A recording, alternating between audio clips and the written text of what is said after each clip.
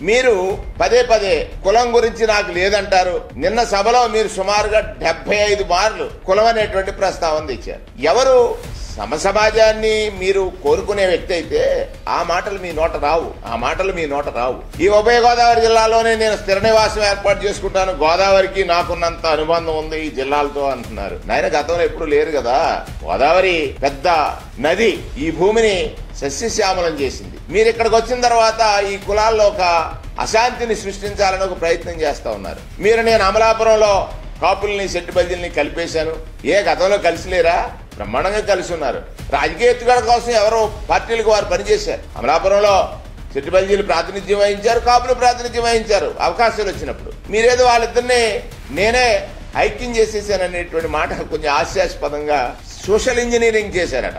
ఏమిటండి ఈ మాటలు? సోషల్ ఇంజనీరింగ్ మీరు చేశారా? మీరు మాట్లాడే ప్రతి మాట కూడా కులాల మధ్యలో వర్టికల్ స్ప్లిట్ తెచ్చేటట్టుగా కనపడతా ఉంది. కేవలం కుల రాజకీయాలే. మీరు మాట్లాడేటువంటి మాటలు ప్రతి మాట కూడా. మీరు మాట్లాడే ప్రతి మాటలోనూ కులం అనేటువంటి ప్రస్తావన లేకుండా మీరు మాట్లాడలేకపోతున్నారే?